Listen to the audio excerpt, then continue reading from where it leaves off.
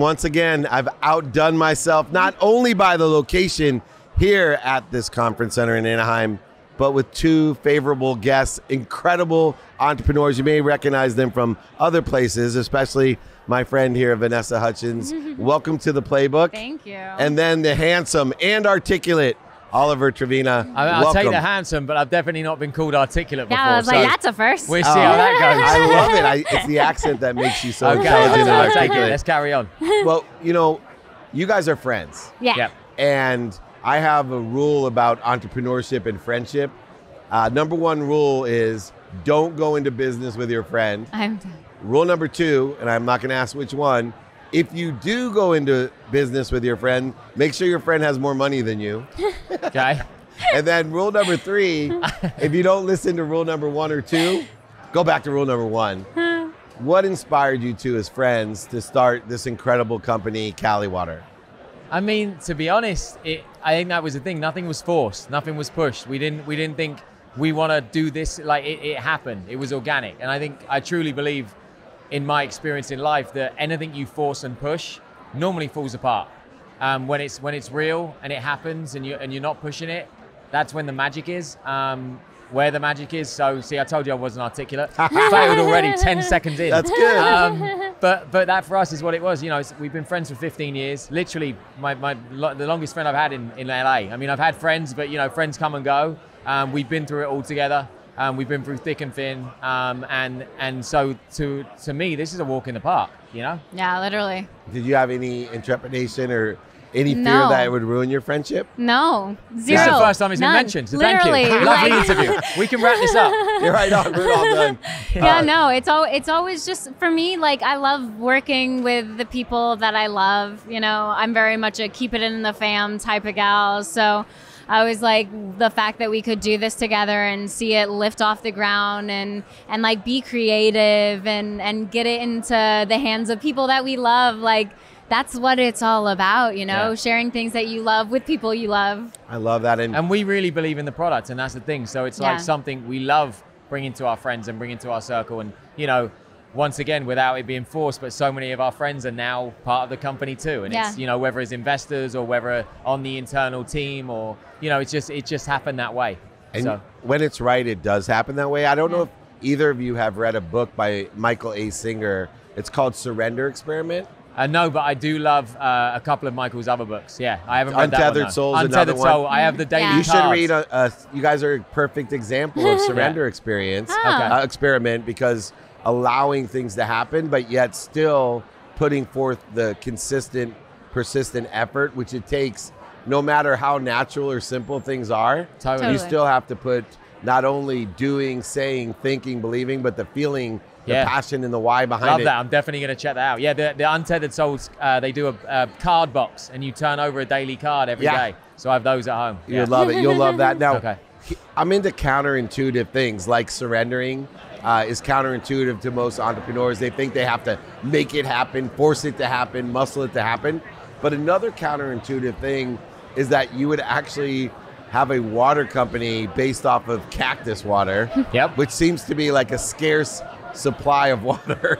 like from the movies, I know in your background, when I'm hearing cactus water, I'm thinking this could be delicious, but like, how do you get enough cactus water to have a company with cactus well, water? so this will probably, well, maybe not shock you, but this was shock the, the great thing. Ca- cactus is cacti is sustainable, right? So it, it's actually less risky than a coconut water. Coconut water, you've got to crack the coconut, you've got to drain the water, and then you throw the coconut out.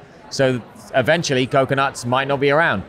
Cacti, the prickly pear naturally drains, so it's not no no cacti is harmed. Wow. So uh, the cacti naturally drains. It goes into uh, you know to our co-packer, and then we, we make the make the beverage. So the the cacti itself is sustainable, and that's a big part of the company and the brand. And, and also, cac- I, I think the cactus market, even from what I hear and with conversations with retailers, is growing across the board. You know whether it's cactus-based chips or cactus-based tortilla wraps or whatever it is. I think we're going to see a massive surge in the next you know year or so. Um, That's phenomenal. I never even thought of that. And then I just this- made all that up. I like it. Yeah. You're a great salesperson. he didn't. Who I came didn't. up with the idea though? Where, where, because you guys both believe in you know, doing good to do well. Yeah. And this company represents that so Yeah, so well, no pun Yeah. intended. Yeah. I mean, But- I was actually on a road trip in New Mexico and I got a prickly pear margarita Wait, and where I in was New Mexico? like Santa Fe?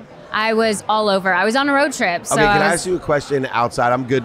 I'm known for this, but I have to ask you because Okay. I did. A, I do a lot of keynote speaking. Uh-huh. I'm not going to mention the university that I was doing the graduation speech for, but I swear there, there's aliens in New Mexico. There's like hybrid people that I felt very peculiar when I was in. New I'm not going to say where in New Mexico, but you know how they talk about the. Yeah. I don't think you yeah, need to say where. I think everyone in New Mexico doesn't like you at this point. Yeah, they might. The, the aliens might. yeah. But anyway, I digress. Um, but yeah, I tried this margarita, the prickly pear, and I was like, what is this magical thing that I have never heard of? Um, and then I started learning about all the health benefits that it has, and that's totally in alignment with like who I am, what I stand for. what are some of the health benefits? Um, there's so many. Well, I mean, there's five times the natural occurring electrolytes more than So coconut water, so it's super hydrating. There's a ton of antioxidants, so it's great for hair, skin, nails. It has antiviral properties. Now you're giving up all your beauty secrets to I know, literally. I know. It's already competitive enough in the entertainment space. Don't give everyone your secrets. Uh, yeah. Digestion, hydration. Hy- You know, it's uh, yeah, well. it's it's it's. Yeah. And what about the cost? Is it, you know, like some waters are like 2,000 feet under the sea or coconut water? What did you say? What about the The, the cost. the cost? you know, to- we're losing to money. it. No, um, uh, it costs us ten dollars for every can, and we sell it because we love people. Um, That's no, it, the cost is. I mean, it's it's a it's a you know it's a fruit. it's reasonable. It's, reasonable. Yeah. I mean, uh, there's cacti farms. There's a there's a lot of farms you know around the same as there is everything else. So it's it's out there, and as I say, it's a growing market. So I'm sure as the market grows, costs will reduce as well. Um, but right now, obviously, you know, cost is attainable. We wouldn't be doing it if it wasn't. Um, yeah. And now, business experience wise, I always say there's a million great ideas, but it doesn't mean they're a good business. and it takes a certain type of person to take a great idea that other people haven't thought of and make it into a good business.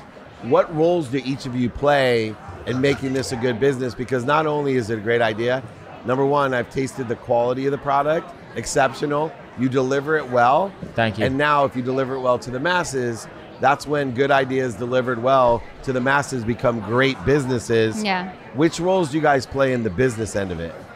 I mean, I'll be honest. It's it's it's, and I really don't think people expect this, but everything from the from the beginning of this beverage to even now, like, I mean, Vanessa's an extremely busy human being, and people would just assume, oh, I'm sure she's just here and there. It's mm-hmm. everything. Like, there is no. There is nothing in that drink that wasn't approved, or I mean, to Nothing ex- at our booth today Nothing- that she- wasn't approved. Literally, that we're on an our email with the people making our booth, and I think they were even shocked that Vanessa's on the thread and saying, "Hey, can we do this?" And I screenshot this tile that I found this and this wood and this. Like, she's extremely involved, and I think we collaborate well. And I also know like there's things I'm not good at. Like for instance, I'm colorblind, so I'm not even getting involved. I'm not getting I'm involved in the. definitely like the creative, Yeah, uh, yeah. and like uh, with how things taste. Very, we're both very involved in, obviously. Um, but like packaging is something that like I'm very hands-on with, and and just making sure the whole thing is cohesive. Yeah, and also cares because that you know there's there's an element of even I will take it and I'll be like, oh, this tastes great. Wait, we should do it. And she's like, no, it's still not right, and we have to wait another two weeks to to speak to the formulation people and that. But that's a blessing because I don't know many people in any walks of life, let alone a partner like Vanessa, that is that you know. I, I guess focused on every little touch, you know. I'm very detail oriented. That's the best way of putting it. that's great. And it's important. But you both still, although you have a personality that's more like mine, very detail oriented, you still, as partners, need to have open minds, open hearts, and open hands. And I see that immediately when I met both of you that there's an authentic relationship and love for what you do and love for each other. Yeah. yeah. But needless to say, I love my siblings. Um, but at times, I tend to have an ego based consciousness because I care so much that I have a need to be offended or a need to be right. Are there any kind of ego consciousnesses or needs of, of you at any time that you think You know, we're stands we're in that way? we we're chosen family. We Yeah. we choose each other, Yeah. and like our relationship has survived the past 17, 15, 15 years, years. because we do. And I feel like it's just so nice that we get to dream something up together and see it come into fruition, you know? Like it's so rare Yeah. that that actually happens. And Which is just- why I'm asking all these questions. Yeah, I'm no. like, Yeah. holy shit, these guys are it's for it's honestly like you said it was the same thought I had and I'd never looked at it this way until you you worded it that way. But you know family you, you, and I love my family. Me but they're my family so you have to deal with the ups and downs and the this Lot and more that. baggage. and and you, you you don't have a choice. Friends can walk away. And for 15 years you've seen me through my ups my downs some moments that I was probably a complete pain in the ass and a nightmare and she didn't have to stay but she stayed. And that to me is a testament of everything. And I'm I'm you know there for her for life and she knows that. And Yeah. and it's vice versa. And I think that's the difference. I give myself goosebumps. Uh, um, but it's uh, it does. It makes me emotional because Yeah. she's she's salt of the earth and I'm grateful. And it's it's a friendship that's become deeper than you know any other friendship. And I think that's the it's a good way of putting it because family and you love your family but you're like oh I'm stuck. And I have to answer the phone when they call back the next day because they're still my family even if they did upset me it's not that case with friendship when you when you find a real one and you're there for each other that way you you know you can't not turn going your back anywhere. yeah exactly Yeah, And I was blessed. Uh, my business partner is a Hall of Fame quarterback, a guy named Warren Moon, and he asked me why. what's a quarterback sorry Uh, Sports One marketing. I'm kidding, I'm kidding.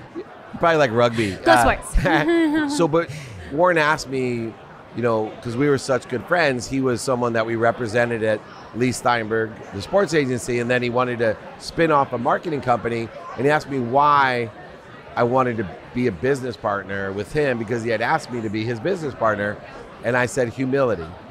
I said I'm around the greatest celebrities, athletes, entertainers, billionaires, millionaires, and it's rare when you have that leverage in life, which there is a leverage in life that you get from the fame and fortune uh, in our society, that you still can maintain humility, a real humility. And I feel that to be true, especially of you, Vanessa. You've been successful for so long, but yet your relationship is authentic and, and humble. So with humble, Oliver, yeah. and and you are respectful of that real re- Vanessa that probably most of us will never see. Yeah, yeah. Um, oh no, it's uh, yeah, it's it's crazy. But you know that's that's life. I mean, I'm I'm I'm 40. I'm I'm a bit older You're than old, Vanessa. man, 40. But uh, but I'm I'm still learning every day. You know, I still I still have to learn. I still have to keep myself in check every day. I'm still making mistakes. It's just part of life. But I think you surround yourself with the right people, and that is one of the most important lessons I've ever learned in my journey. Is the people around you. You know. and tactfully, the last two years have not been easy on supply chain, especially. Yeah. And this product has supply chain, uh, you know, issues and focus. How were you guys able to continue to grow and scale and brand so well over the most challenging time for, you know, a beverage company with supply chain issues? I mean, I think for me, the thing that was like really special was we were given this chunk of time that we normally wouldn't Yep. have. Without doubt. Um, so we were able to really put our heads together and figure out a, a plan of attack for our company. And for me, being the creative that I am, I was like, okay, this is how I want our campaigns to look. This is the kind of images that I want us to be pushing out. Um, these are the company, the the grocery stores, the yeah. retailers we love, and we want to be pushing things out to. So, I mean, it just gave us the time to really get focused and get on the same page and kind of figure out a game plan as to how we can push this out into the world. Yeah, and I, I think that's that, that's a good point because she is always here, there, and everywhere in the mm-hmm. best way. I mean, busy, and I think it gave us a chance to like sit and really focus and get things right to then you know build that foundation to then move forward. Um, but in reference to your supply chain, I mean, everyone suffered. You know, we Yeah. were Yeah. it, it pushed our launch out a few times, but I truly believe in timing. And it, eventually, when we did launch, it was perfect timing. Yeah. Even the way we did our event and everything else, like it all worked itself out. But in the in the beginning, yeah, I mean, we had the the co-packer we were working with originally. I think they shut down twice with COVID. You know, it's a it's it's a it's an issue. You know, it's everyone struggled with it. But the blessing of that was for sure that we got to spend some real time together and kind of build this out properly and be on the same page, um, and then move forward, which is massively important. And now with the product itself, everyone has a favorite part of their baby. Totally. And I would say it's I'm always fearful when you're in love with a product uh, to be in business with my own product. I try to keep entrepreneurs as I coach them don't be in love with your product. Stay pragmatic. But I can tell you guys are in love with your product, which Yeah, is we are. wonderful. Do you have differing opinions on what your favorite thing is about Caliwater? I mean, I think we're both super passionate about health and wellness. Um, so I think Yeah. I've right. Our Yeah, favorite yeah, thing is yeah. like how how good it for you it actually is. I am the worst person ever with drinking water. Um, I need hydration, and now I have it with our company, and it's just so fun because literally every single person's hands that we put it into, they love it. So I think that's the exciting part is when we say everyone as well, it really is everyone. Like whether I've given it to my parents, which was a challenge because I wanted to send them like a four pack to England and it got sent back six times because of customs. Cost me about a thousand bucks in the end for my parents to try Caliwater. But eventually when they did, they love it and they're in their 70s. And then we've got kids at, you know, a, a, uh, uh, my godchildren at two years old to an 18 year old to everyone really drinks it and is like, oh wow, we love this. And I think that's the exciting part of why we want to build this so big is because there's no reason it can't be either, you know? Well, I'll tell you what's so rare, and as you look around this convention that we're at, is there's very few products that are so healthy for you, so sustainable. Yeah. Right? I'm like even almonds. You know, Yeah. water and almonds sucks up. Yeah. like literally. I mean, I'm surprised they they're- they should be more than gasoline. Everybody knows how much that is right now. But what surprises me when I tried this is it could taste this good I Yeah. know. and be healthy. I know. And so sustainable, which I just Of course. learned that component yeah. of it right now. Um, do you know why or how it's so uh, tasty? Like, what do you guys Yeah, do? because she's extremely picky and we have to do 65 tastings to get it right. I can tell you, it probably would have been half that good if I had the thing. I'd have been like, we're good now. We're good. And Make I'm the picky. I'm picky, and I would have quit after 30. Yeah, but exactly. "Yeah, that I mean, tastes okay, it's good enough. Let's just It's get the good drink for out you. there. It's sustainable. That's Yeah. good enough. People Yeah. drink it. And by the way, have you tasted some of the, excuse my language, stuff here? No, comment. Like they'll tell me how great it is for you. I'm like, you know what? It could literally give me a year off of my life, or you know, add a year. I'm not eating this every day. Well- well, I think that's this stuff I'll drink every day. Yeah, That's- and yeah. that's what, what we do Yeah. do. Like Yeah. I literally wake up and first thing go grab because my favorite is the prickly pear. I call it my candy water. Grab that and down it first thing in the morning. And when I tell you, like I've got cases delivered on for like the week, and they're gone in two days. Oh, like yeah. everyone is It's like obsessed cotton with candy them. grapes, right? Literally, Before we were, like, yeah. Wow, Before we were is so shipping around uh, like nationwide, I was visiting you in Florida. Yeah. And before I even left, she was like, "Hey, can you bring me some Caliwater?" like, like it's like you, we genuinely both love it. And I think for me, you know, I, I love health and wellness, and I was always that strange guy going in a grocery store, store, and whatever it said was really healthy, I'd buy. And you do get used to just assuming that if it's good for you, it tastes bad. That's Yeah. just the way Just it's going to walk be. around here, you know, if it if it's you just accept it and you kind of close your eyes, you grin your thing, you down it, and you're like, it's fine, it's going to help me. And that's the exciting thing about this is like it's good for you, but it tastes great. It doesn't need to taste bad. So, but I think tastes- it takes time. It tastes so good that you can use it as a mixer, which I definitely do. Yeah. it, it is amazing. Uh, but I will tell you, this may be the most expensive. I've traveled around the world and done this podcast. I've done over a thousand of them. Uh-huh. This may be the most expensive because I think I'm going to lose half of my endorsement deals with health food companies and anybody in New Mexico that loves me. So Yeah. I just, I, mean, I have to be truthful. This I love absolutely is the best water I've tasted. Thank you. And just so you being- know- beyond it being healthy and even sustainable. So Yeah. I want to congratulate. You Thank you, brother. Thank gonna you. say? No, I was going to say, and on that note, if you lose everything, if you go bankrupt, we're going to send you six cans for free. Hey, We got your You back. gotta, you gotta start following me because I'm known for losing everything. I lost over a $100 million and made it back. So Well, you you nailed go. my brand. See, you're just promoting fine, me. I- bro. let's switch seats. See, You're told fine, you. bro. You're articulate and smart. All right, last question, real quick. What's next? Oh, Oh well, for Caliwater, we got a lot of Cali things Water, coming yeah. on. We're we gonna- um, have a kids pouch, which I am so excited about Thank because growing up, like I remember the Capri Suns and how much high Sugar. fructose corn syrup is in it and artificial coloring, and I was like, this would be the perfect product for children in the prickly pear because, like I said, I call it my candy water. Um, so we came up with a little pouch that like I was very involved with designing the packaging, put little mantras on the back for kids to say out loud and empower them, and um, Yeah. we're really excited to launch that. yeah, we have a couple new flavors coming as well. We're just finalizing, finalizing the taste on those. Um, and then we'll be doing a couple more, I say, product innovations. We won't mention too much, but we have we have some interesting stuff in the pipeline. Yeah. And then it's just about you know expanding. We're obviously available on Amazon nationwide, so people can do that. But we're we're you know fast growing in California. We'll be on the East Coast. Um, and just really expanding nationwide this year, and then hopefully Global. see what see what el- yeah see what else happens. Worldwide. Yeah. Worldwide. Global, worldwide, Caliwater. well, not only am I in love with your product, Caliwater, but I'm in love with both of you. Thank you. you, Oliver. Thanks Thank for the you, time. Thank you. Thanks for the support.